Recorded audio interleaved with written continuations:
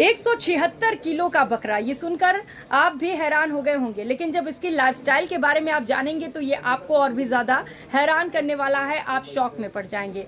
दरअसल, इस बकरे के लिए खास इंतज़ाम किए गए हैं गर्मी से निजात दिलाने के लिए। दो कूलर खास तौर पर इसके लिए लगाए गए हैं और इसके साथ ही खास इसके लिए खजूर मंगाए जाते हैं बाहर से।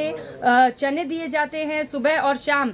भैंस के दो दो लीटर दूध इसे पिलाए जाते हैं और इसके साथ ही तमाम व्यवस्थाएँ इस बकरे के लिए किए गए हैं जिससे कि इसे कोई परेशानी ना पाए। ये बकरा भोपाल के सुहेल अहमद के पास है और बाज़ार में इसकी कुल कीमत पंद्रह लाख रुपए है। नमस्कार।